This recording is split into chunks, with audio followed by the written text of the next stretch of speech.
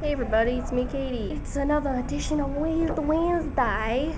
And yeah, this is gonna be really unprofessional because I'm not at home where I'm supposed to be.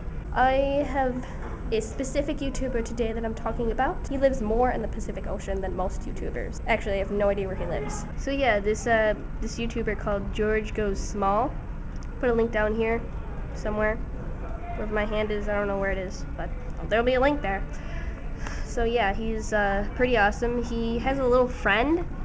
It's kind of given away by the title. He has this tiny friend about this big, also named George. Like maybe maybe it's like his good conscience or something. Like you know those little tiny guys that sit on your shoulder. I don't know. I'm most likely creeping people out that are passing by. There's been like 10 people who've passed by while I was vlogging, and I'm sure they're scarred for life because that's that's my job. My job is scarring people's lives. I think that I'm gonna change my occupation now to not making videos it's scarring people's lives. I'm talking to a camera.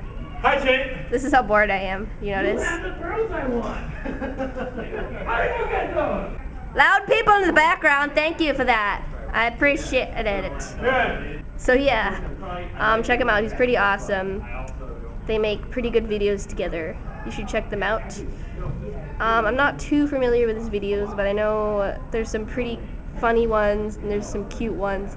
I personally like the one, I'm not sure what it's called, I'll probably like put the title on the screen somewhere, but it's like when Mini George grows. It's pretty awesome. I think you should go check that out. I like, personally like it. I'm gonna walk out.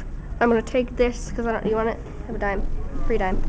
Happy birthday, if it's your birthday. It's not my birthday. It won't be for another six months. I just blessed another person's soul. I wasn't. I was going like this. Now the string's flying everywhere. That's not good. No. Shouldn't be filming like that. That'd be just crazy. Yeah. Crazy with a K. Because that's how you spell it. I always spell it with a K. Because you're that crazy. Huh? I am. I am just that crazy.